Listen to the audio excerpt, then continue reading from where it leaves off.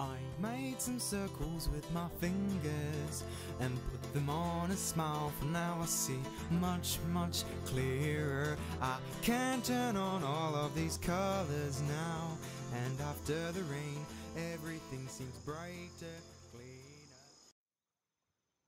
Well, one of the things we have to do before I can uh, beach Tiare is come down at low tide and check the area where I'm going to beach Tiare. Um, I need to check to make sure that there are there is nothing that's going to hurt or damage the hulls as she comes down when the tide drops. Um, this normally just means walking around at low tide and checking for uh, larger stones or stones, bits of metal sticking out, um, kind of hard rubbish that is generally washed up on shore. Back in the cabin, need to sort out what exactly I need to take tomorrow. Um, if I get anything wrong or I miss something, then I'm going to be a, it's going to be a waste of time. I, I can't do the job, so I have to double check that I have everything required.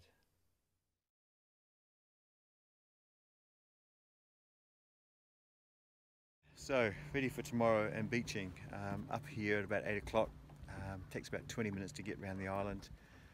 Um, we'll hit it just after high tide, hopefully. There's about a 20 minutes delay, maybe 15 minutes delay between uh, what the tide tables show or the tide graph show and uh, where we are. Um, so, 9:40, sorry, 8:40 we'll be beaching, um, and then we'll just wait for um, a few hours for the tide to drop a wee bit before I can jump overboard and start wading through it and cleaning the hull.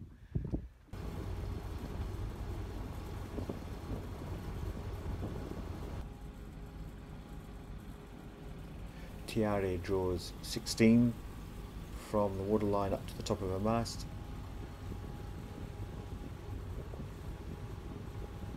On the way, it's just miserable. It's raining and pouring. Um, it's just not a nice day for this, but I don't have a choice. I do need to beach Tiare, I need to change the oils in the sonic drives, and I need to do a few ding repairs as well. So I just don't have a choice. I've got to do it today.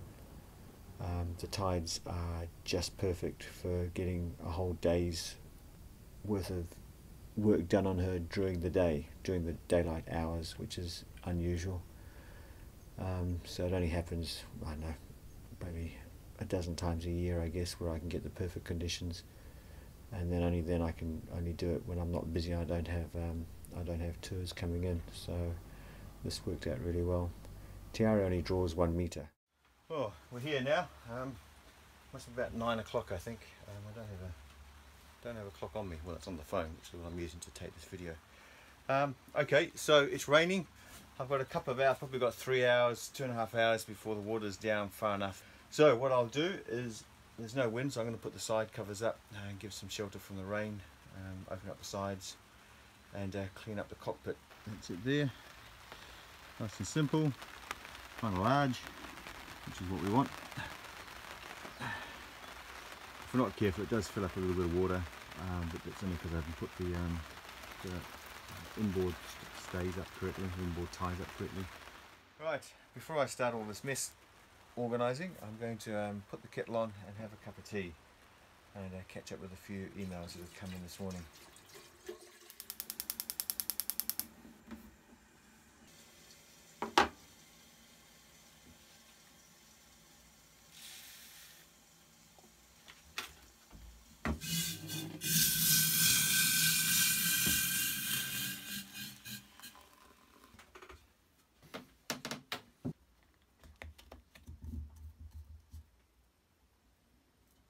See, that was hot.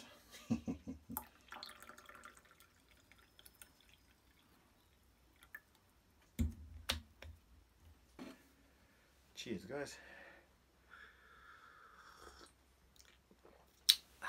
Nothing like an instant coffee, eh? Here we go.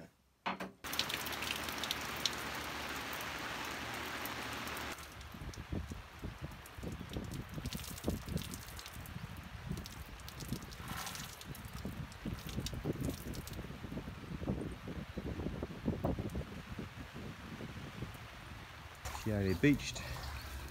Two motors dropped down the ladder and the uh, the sonar as well. That normally lifts up on the sailing, but just uh, well, it's still uh, too deep for me gumboots at that end, so I just uh, swung down from there.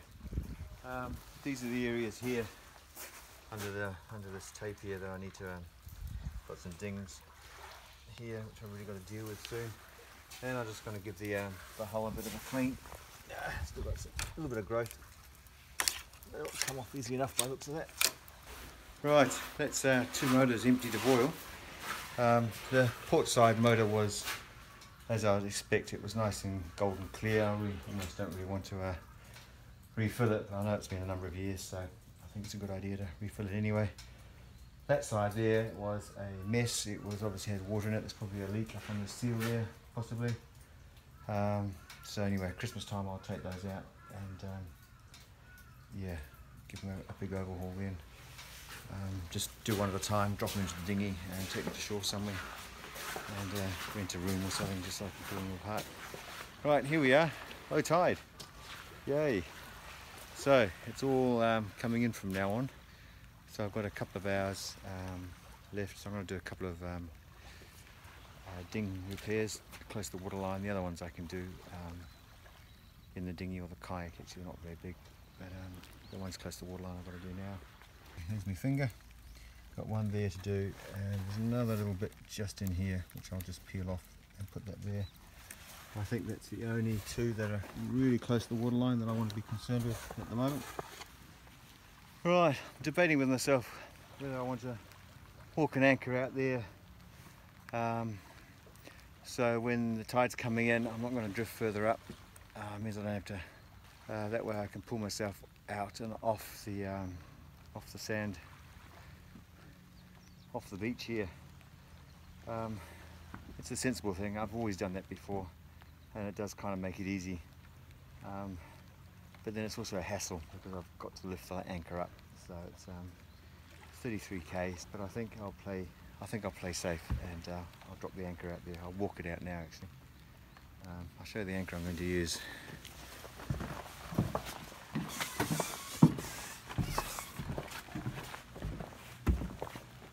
Alright, we've got two Rocnas. We've got the 33, which is our kind of day anchor and kedge, I guess. And then on the other side, we've got the, um, the larger 40. Uh, it's a 33 I'm going to put down. Uh, we'll just drop it off and then I'll walk it out there. I think I'll do that now. That's what I'll do. Alright, this is a lot of rope. Uh, it's actually fancy climbing rope, I think. Came with the boat, but uh, we got caught in a uh, very nasty swell that came into Marina and uh, in Malaysia, uh, Penang actually, and had to uh, tie everything we've got, and it got ruined at that stage, unfortunately. So anyway, I'm going to tie this on. And there's nothing.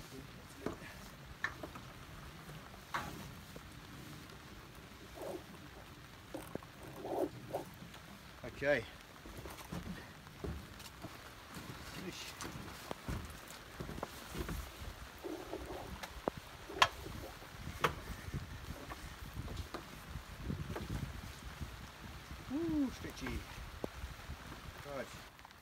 One anchor out there.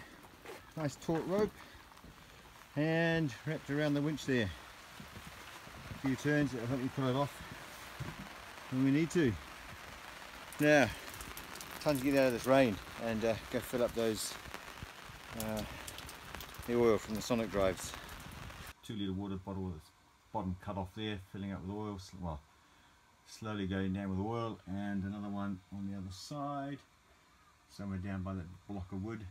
It's uh, been an awful slow process trying to get this oil um, down into the tails. Um, I knew it would be because you're trying to force a lot of quite a, viscous kind of liquid down a small pipe and the air's got to, as it goes in it you know the air's got to be displaced out and it's kind of coming up in little bubbles which it is doing but it's taking a heck of a long time um, I know when the guys do it professionally they have a little pump which they pump it up um, which is what I should have done actually but I don't have a pump well, here we are, next day. I'm back in my uh, usual mooring, but unfortunately the uh, the bridge is a little too close, which means the shallow water, which is just down there, is a little too close. Um, we changed the mooring ropes around the other day because of the uh, they'd frayed through and they're a couple of meters longer, which means we've pushed back a couple of meters um, and we're a bit too close to the shallow. So I'm going to move the boat and deal with the uh, mooring buoys or the mooring ropes uh, later on. However, tomorrow we have a group of four plus or so young girls coming over to cook their lunches on board, which is what they want to do. Um, and so we're going to go over to there, just over there, somewhere there, I think. Uh, where there's a little um, uminoeki or a sea station, they call it here, um, where we can moor up and they can come on board and enjoy their lunch. Uh, they're going to cook their lunch on board actually. Um, normally we'd have it out here but the forecast is for a lot of wind tomorrow and I don't really want to get them on the boat when it's um, it's difficult to get them on and off the boat when there's that much wind. So we'll go over there. Plus I also need to tidy up and uh, clean up the boat because it's still a mess after yesterday. I haven't had a chance to clean it yet. Here it is, a mess. And that down there is no oil in the sonic drive so I can't really use the motor. I might use it for a couple of minutes uh, to help me get in but other than that I'm pretty well screwed. So yep, here we go. Just going to have to do the best we can. this will be entertaining. I'm not going to video it because I won't have time. Well I wasn't happy with the side of the dock I was on. I had an idea the wind was going to blow around from the other side. Um, so we, uh, we pushed it around. We've only got one motor so turning circles is not easy in a small space um, but we got it right in the end.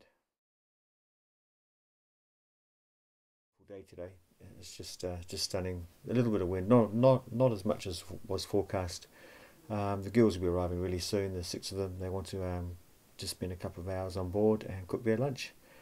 And there they are.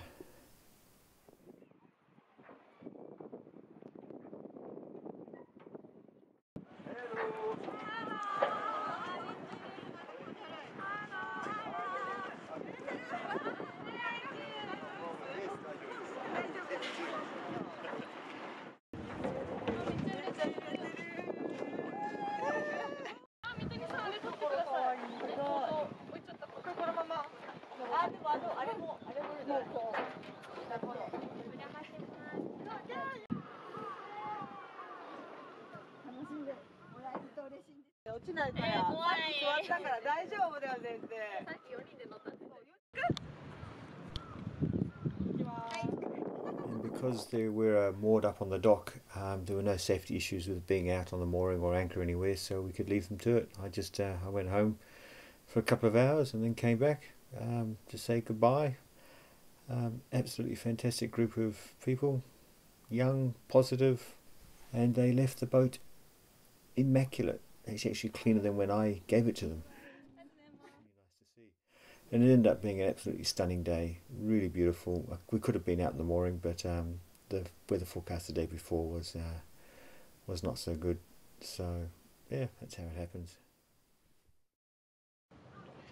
Well, that's my second day of doing this. Um, I'll show you what's involved in topping up my uh, my oil in my sonic drives, in my uh, drop down drives. It's a matter of doing this up and down. And what that does way down in the bottom there, let's get the strip out of the way, way down in the bottom there, goes through the top of the sonic drives. And uh, when I do this a few times, it just breaks the little air bubble that's down there and allows that little bubble to come to the surface and then allows a little bubble of, or a little drop of oil to go down. And this is my second day of doing this. Here, I've only got another probably litre to go I think, um, and then it's all done. Um, next time I'll do this, I'll do this another way. I'm so glad that the other motor got it done in about four hours. This one's taken two days. Well, here we go. It's getting dark now, and I haven't seen any bubbles coming up for um, quite a while now. So I reckon it's, um, I reckon it's, it's done. It's done, Stash. Well, here we are. Miserable day. Um, we're just looking at, well, I'll show you what we're looking at. We're looking at a whole lot of uh, rain and wind at the moment good day for an inside, inside job. We can drop a, weight down on there, probably a big concrete block to keep everything low to the ground. Um, then at the end of it all, put another splice and um, shackle on there, which will then go to the big swivel we've got in our mooring buoy. This lot here is um, should be around about 100 meters of uh, 22 mil double braid fancy stuff, uh, which we got a few years ago for the typhoons up here. It's been through eight typhoons and it's had enough of its life. We've seen it go just like a steel bar. um, and it's done that many, many, many times, and it's time to replace it um, as our main securing line, I guess. It's just um, I wouldn't trust it anymore. It's just got no stretch left in it, um, so it's good enough for our mooring rope. Essential equipment for any rope work is good music, um, all your your whipping twines and your your palms and your needles and whatnot, and of course uh, your wife's best kitchen knife.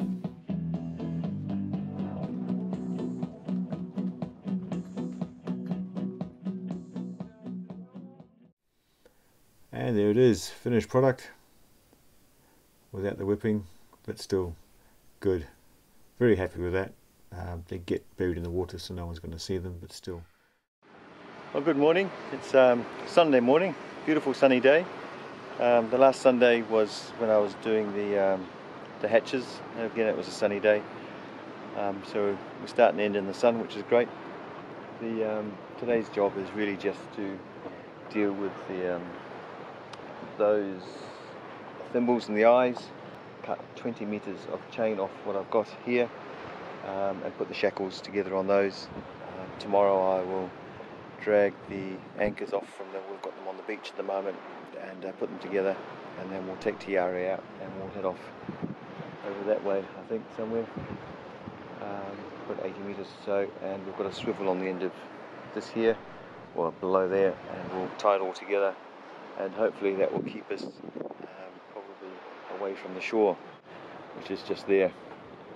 And the shallows are just uh, where the black buoy is there, probably another few meters beyond that, close to the shore.